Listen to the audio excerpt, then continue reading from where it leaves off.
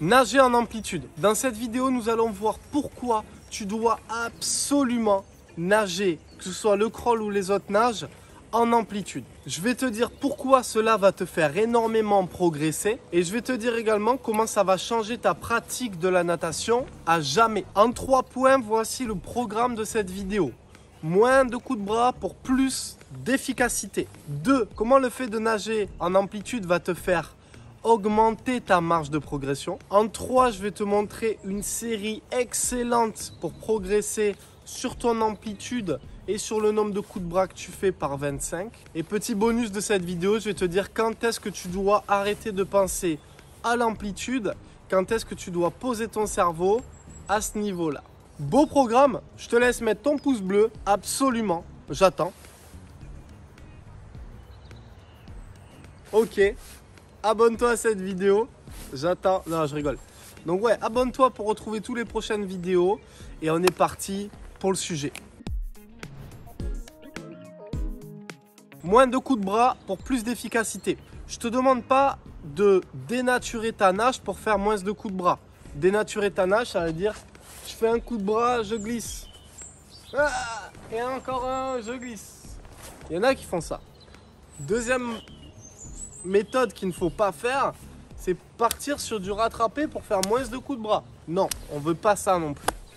Nous, ce qu'on veut, c'est garder une belle nage en faisant peu de coups de bras. Comme ça, tu travailles sur ton efficacité. L'efficacité, c'est quoi? Ton allonge, ton catch, ta traction sous l'eau et la fin de traction, et ton battement. Et avec tous ces éléments, plus un bon rythme de respiration en trois temps, eh ben, tu peux forcément gratter des coups de bras.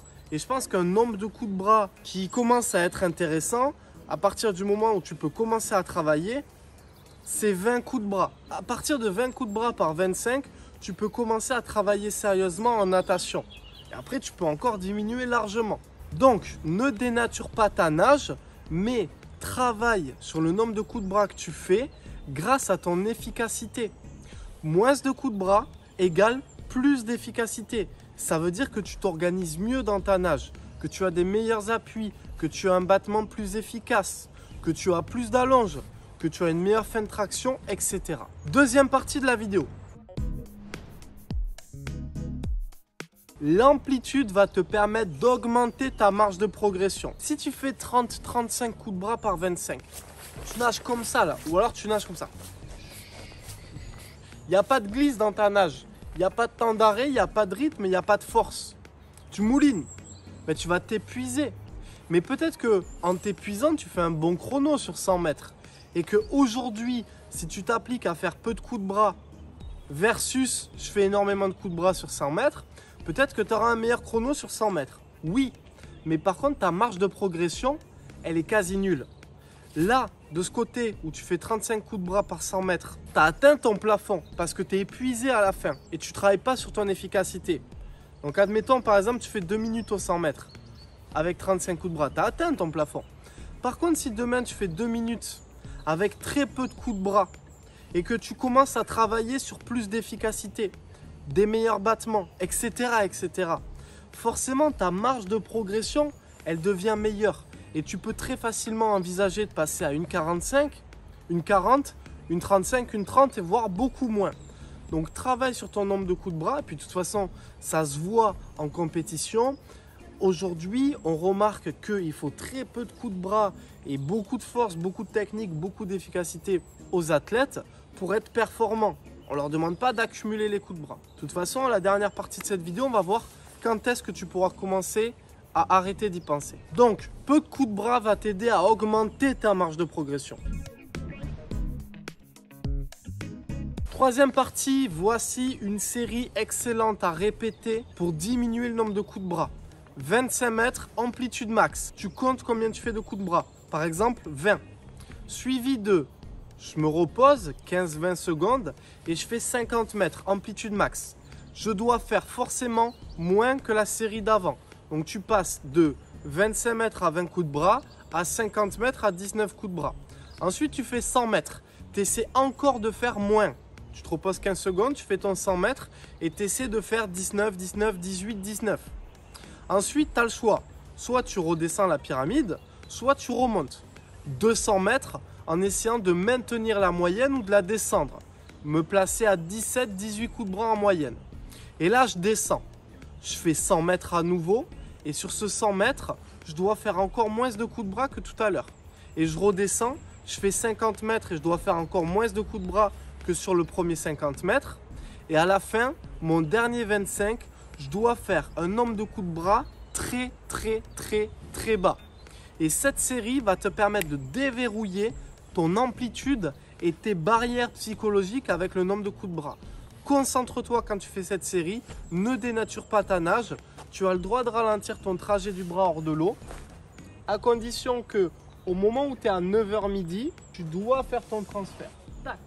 À chaque fois que j'arrive à 9h midi, je fais mon transfert. Et ça, c'est un bon repère pour ne pas dénaturer ta nage. Là, je viens quand même de vous donner une astuce bijou. Un pouce bleu, s'il vous plaît, pour ben, me rendre l'appareil. Et abonnez-vous pour retrouver toutes les prochaines astuces dans toutes les prochaines vidéos. Maintenant qu'on a vu cette série qui va te permettre de diminuer le nombre de coups de bras, qu'on a vu que diminuer le nombre de coups de bras va te faire augmenter ta marge de progression, à quel moment tu dois arrêter de penser tout le temps aux coups de bras? C'est simple. À un moment donné, 80% de ta séance, tu vas penser à ta technique. Donc tu peux te dire, je nage en amplitude, de temps en temps je compte, et quand il y a une série spécifique sur le nombre de coups de bras, tu comptes systématiquement. Par exemple, si on te donne 8 fois 50 crawl amplitude max, il faut que tu comptes. Et il y a d'autres séries où on va te demander de juste aller vite. Donc, ton objectif, c'est retranscrire une grande amplitude de nage sur de la vitesse.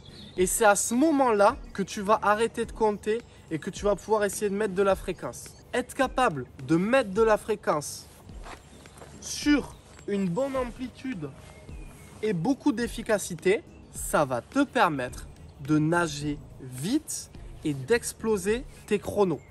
Et c'est ça le but de l'amplitude en natation. Travailler en amplitude pour devenir plus efficace, être capable de retranscrire cette amplitude sur beaucoup de fréquences. J'espère que vous avez saisi.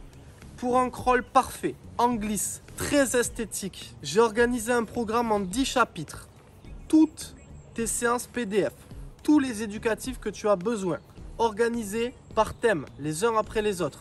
C'est comme si je te prends par la main et je t'aide pendant 10 chapitres à construire une nage du crawl parfaite, brique par brique, comme des Lego. Le lien est en description, je te le mets aussi dans les commentaires.